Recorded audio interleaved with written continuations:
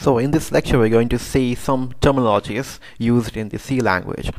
Okay, I already told you about this uh, this line.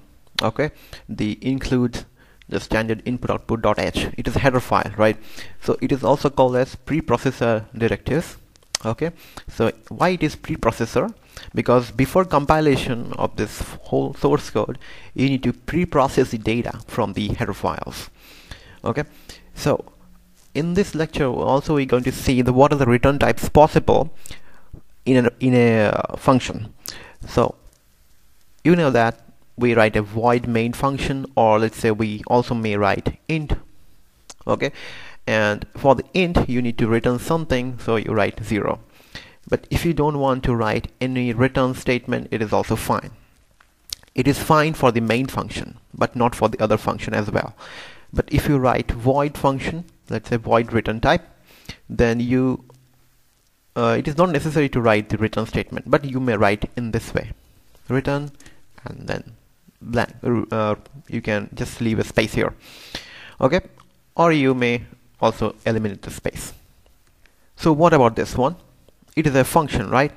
So it is a function definition. Definition means we want to write the actual code in this function. So here eh, the, the this long uh, along with this unsigned short int is a one of the return types that is used in the C language. So don't worry about it. I will tell you about this. For now let's say it is a simple integer. It is returning a sum of these two numbers m and n okay? And it is a returning integer. So so some people may ask this m and this n is uh, similar of this uh, variables that are used in this main function. Like for example, if I write int mm, m and n here, and I write uh, let's say m equals to 8 and n equals to 3, and I've, if I pass this to m comma n here, so is this m and n is similar to that of m and n in the other function. These two functions are different. Then this m and n is also different. So we can say that this m and n are different for these two blocks of functions. And also there's a lot of question about this. Why should not we write here in this way? So if I do it is uh, actually uh, fine but it is uh, it is uh, going to give you some warning by the compiler. Let's see if I compile this statement. There going to be some error. Okay there's some error is about the MNN okay it is fine. Don't worry about this. I'm not going about this uh, concern. I'm not concerned about this. I'm concerned about this. Why we should not write here function? Okay see the conflict types is going to declare here. So to avoid this warning we have to use a prototype. I need to copy the entire code here see, up till here okay? And then just write the return types of this. Or just return type data types. Float here okay? And then place a semicolon here. So float float here float and float here you need not assign any variable to it okay? So it is a prototype here. Now let's compile it and see if there's any error. No error. So this statement this statement is called as function declaration or prototype okay? So this is function definition where the main code is written and it is a declaration of this function. See if you use a variable a and b here so it is declared here right? And if you use a function you need to declare above okay in the global space. So why not use this uh, this uh, integer here? It is also fine. If you write integer a equals to 8 and b equals to 3 it is also going to work okay? But if I uh, use here in this local uh, function main function so the value of a is coming from this function from this variable not from here. If I place here 5 the answer to this problem would be 8 okay? So let's check it out. See? It is sum is 8 so the variable values is coming from in the local variable not from the global. If I declare that there is no such variable here so the value of a and b will come from here okay?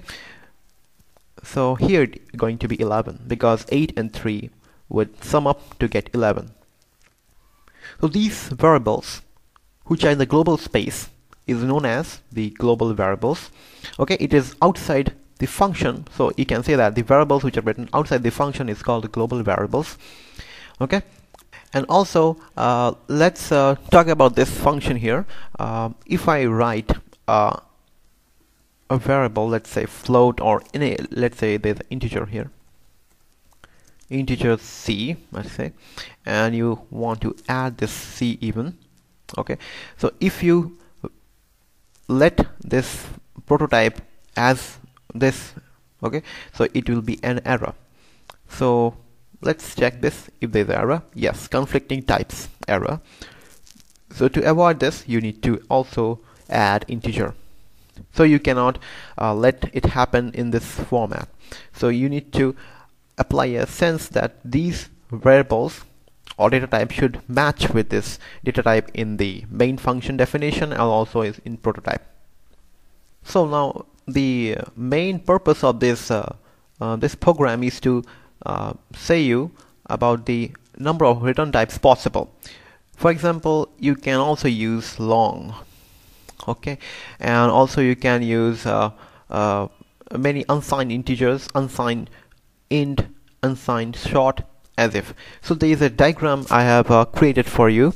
So by this diagram you will able to uh, identify whether a return type is possible or not here's the diagram. Okay so it is a kind of a diagram where we have oval circles and uh, you can start with a long data type here and uh, you can have long long int okay as a data type okay? Uh, you can you may have uh, long long unsigned. Then you can have the integer because the arrow is going from here to here okay? And just follow the arrows right? So if you follow the arrows you will going to guess what can be the uh, data type possible. See return type can be long double long uh, see hexadecimal and octal is not there in a Dev C++ plus okay? So also you can you may have uh, long long signed then int right? And you may start with a short if you start with a short short unsigned int can be possible or short signed int can be possible okay? Or you may write a solitary float okay?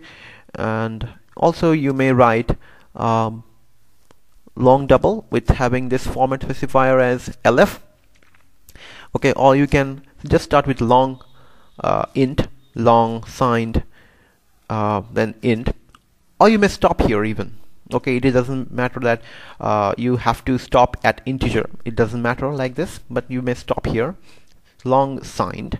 Okay and uh, just follow the diagram here right? So you get it. For this purpose I'm taking you to a program. So here the purpose of this program is to uh, tell you how to use the uh, size of the data type. Okay so what you're gonna do is print f in integer you need to print. So it is a signed integer right? It is signed. You can also uh, pronounce it as decimal but it is signed because we generally write decimal in signed and unsigned way. For example minus 3 minus 4 or 6 7 8 like this. Okay? So size of operator and you can just close it and now let's check the size of integer in our case okay? So let's compile. It is giving no errors. And it's 4 okay? In our system the integer size is 4 okay? Now let's check the long. Oh sorry about this uh, compilation. It is also 4 and let's say um, long long int. What is the size of this data type? Is 8 okay fine. And let's check the long double. It is 16 okay great. So by this method you can check which of the data type is possible by experimenting with this uh, diagram I've shown you okay this diagram. So just uh, in your system just practice which of the uh, data type is possible right? So just follow the arrows right? If you start with the short so one thing I forgot to mention here is this arrow is showing you the starting point from where you may start right? So here also you can see that there's a float. So you may start with the float but you cannot reach any of them. So don't worry about it so only float is written with uh, nothing else. So here also you may start with short. Short uh, short can be followed by unsigned and then int. The last stop is integer here. Okay so let's check this short unsigned int right? Short unsigned int. Let's check this one and it should give me some answer. Okay two. Two bytes is allocated for this data type right? You may use this. Okay so so let's uh, talk about now the type operator used as a unary operation.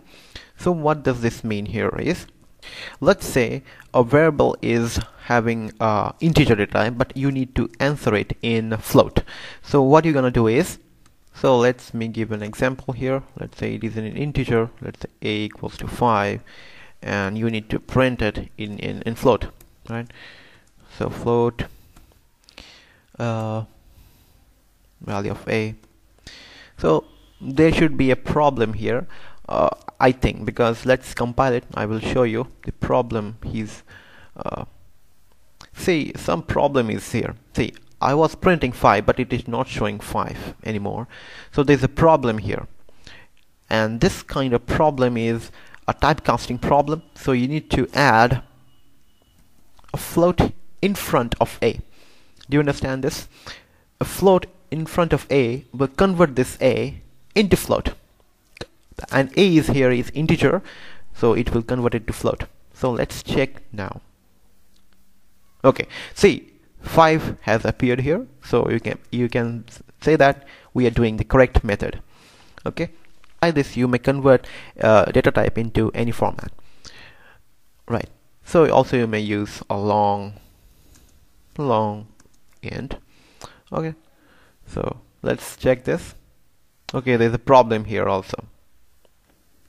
Why there's a problem? Because we are uh, typecasting to integer but we are placing the format specifier for a float value. So it is not possible right? So also use the appropriate format specifier to uh, to print your data in the uh, console right